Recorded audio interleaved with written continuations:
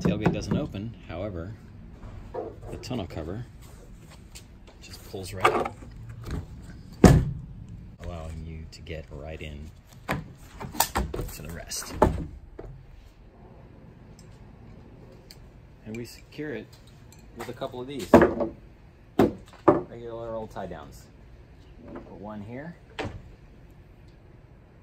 with a cam up top. And we'll put the hook down below through the tailgate. One on each side. There's a gap between the tailgate and the body where you can slip the hook. Boy, just lift the tailgate up to make the gap a little bigger and you can drop it right down like that. I'm gonna just put it right there on the part of the body that is closest to the bumper.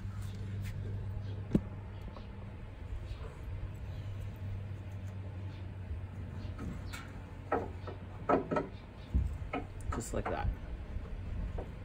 Just snug it up from the top. Like that. Throw the rest inside. Now you can close the tailgate. Now you can't lift this tonneau cover. And you can't see it from the back at all. But it's secure. There's no getting that open. Unless you crawl underneath and cut it. But you have to know it's there. When you need something out of it or need to put something in, you can unlock it. You have full access. Whatever you want goes in.